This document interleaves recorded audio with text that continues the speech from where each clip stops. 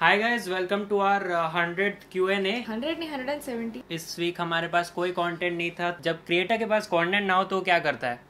Q N A तो पहला question है my question is why should I ask you a question ठीक है दूसरा कोई देखते हैं? आई हैव नो क्वेश्चन ठीक है guys that's it that's it for today guys thank you for please watching subscribe press the like button thank you for watching this video will see you guys यार एक comments में मेरे face को पता नहीं कितने लोगों के साथ कंपेयर किया जा रहा है। सबसे ज़्यादा नाम आता है टप्पू। एक तो मैं तारक मेहता देखता नहीं तो मुझे पता नहीं था ये कौन है तो मैं गूगल सर्च किया। और यार मैं कहाँ से इसकी तरह दिखता हूँ? यार ये देखो। लगता हो क्या सिमिलर और किसी ने बोला सौरव गांगुली। कुछ भी। और एक मैं तो किसी लड़की के साथ ही कंपेयर कर दिया। मतलब ठीक है हम दोनों के ऊपर के दांत दिखते हैं हँसते टाइम बट इसका मतलब ये नहीं कि वो मेरी बहन हो गई। So what's your take on Jio तो जियो से फ़ायदा क्रिएटर्स ऑडियंस दोनों को हुआ है। क्रिएटर्स को नई ऑडियंस मिली ऑडियंस को न्यू क्रिएटर्स मिले। और मुझे पता है कि बहुत से ऐसे क्रिएटर्स हैं जो एग्जिस्ट ही नहीं करते यूट्यूब पे अगर जियो नहीं होता तो। भुवन बाम आप लोगों को फॉलो कर रहे हैं तो कैसा लग रहा है? तो जिन्हें नहीं पता भुवन ने एक्चुअली हमें ट्विटर पे फॉलो किया। तो सुबह सुबह सात बजे हम कॉलेज जा रहे थे मतलब मैं जा रहा था कॉलेज पहुँच चुकी थी। और तभी हमें नोटिफिकेशन आया कि Bhuvan Bam followed you back तो हमने सोचा अरे पक्का कोई फ़ैन अकाउंट है फेक अकाउंट है। पर ट्विटर खोल के देखा तो ये ओरिजिनल वेरीफाइड ब्लू टिक वाला अकाउंट था। तो हमने सोचा अरे पक्का कोई गलती है? स्क्रॉल करते करते दब गया होगा। और हम तो दिन भर रिफ्रेश करते ही रहेंगे कि अब अनफॉलो करेंगे ये हमें अब अनफॉलो करेंगे। तब तो रियलाइज़ होने वाला है अब अनफॉलो कर देंगे।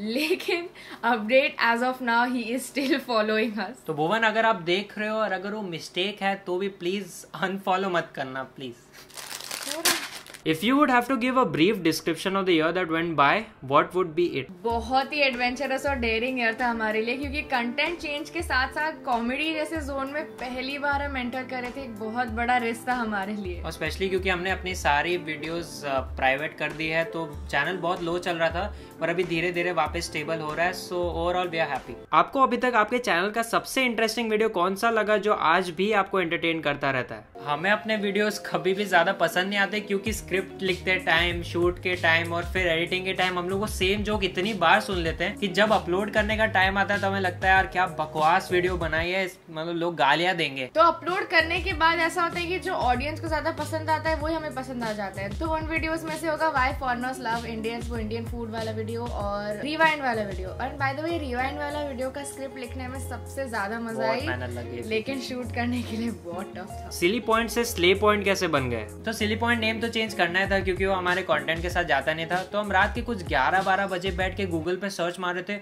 nice name for your YouTube channel और उसमें इतने घटिया नेम्स थे कि हमने यार देखते देखते नींद आ गई और फिर एंड में कुछ एक बजे हमने सोचा कि यार सिली से क्या राइम करता है स्ले बस डाल दो सिली पॉइंट नाम की वजह से काफ़ी मिसअंडरस्टैंडिंग्स हो रही थी लोगों को लग रहा था हम पता नहीं क्या सिली चीज़ें करने की कोशिश कर रहे हैं पागल समझ रहे थे लोग हम लोगों को तो हेट भी मिल रहा था। तो हमने सोचा कि चेंज तो कर रहे हैं लेकिन जो सिली पॉइंट से काफ़ी सिमिलर होना चाहिए नया नाम ताकि लोग भूले ना कि हम यही चैनल देख रहे थे। सरप्राइज़ ना हो जाए कि ये कौन सा चैनल है। पता नहीं क्यों स्ले आया दिमाग में पर अब जो है वो है। सिली पॉइंट से तो बेटर ही है। और हाँ स्ले पॉइंट है। सैली पॉइंट पता नहीं क्या क्या पॉइंट स्ले पॉइंट पता नहीं slay point slay point repeat after me. Slay point Starbucks और सीसीडी देख स्टारबक्स में जाऊँगा फ़ोटो खींचने के लिए फेसबुक पे चेक इन करने के लिए थोड़ा शो ऑफ़ के लिए। और सीसीडी असली खाने पीने के लिए। Please shout out my name Shravan please please Shravan Shravan Shravan कभी ऐसा हुआ है जिसके वजह से एकदम डिप्रेशन में गए हो? वापस कैसे आए? डिप्रेशन ये बंदा तो पूरे टाइम स्ट्रेस में रहता है। मतलब एक वीडियो बन गई तो नेक्स्ट वीडियो का टॉपिक क्या होगा? क्या करे उसके उसको लेके स्ट्रेस टॉपिक मिल गया तो उसके ऊपर स्क्रिप्ट कैसे बनाएँगे उसको लेके स्ट्रेस स्क्रिप्ट बनने के बाद शूट कैसे करेंगे? कैसे होगा? टाइम पे होगा? नहीं होगा? उसको लेके स्ट्रेस शूट हो गई तो हाँ एडिट के लिए कितना टाइम लगेगा? और अपलोड होने के बाद guys this is the video both of you do nagin dance and roast yourself nagin dance यार देखो हमारे जैसे टैलेंटेड डांसर्स की परफॉर्मेंस ना कमी देखने को मिलती है। एक बार हमने दे दी राजा राजा पे।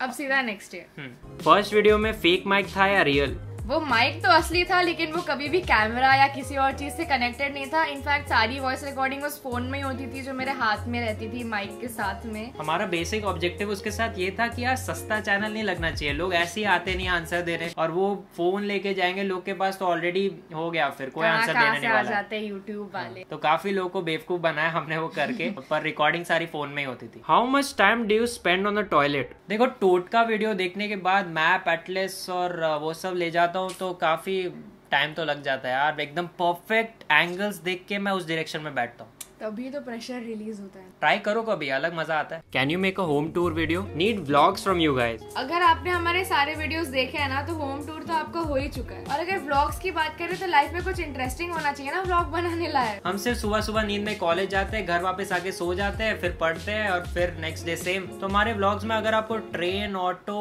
मेट्रो बुक्स देखनी है तो ठीक है बना देते हैं। पर वैसे पैरोडी आइडिया अच्छा है the most boring vlog ever why's Why is Abhyuday so cute?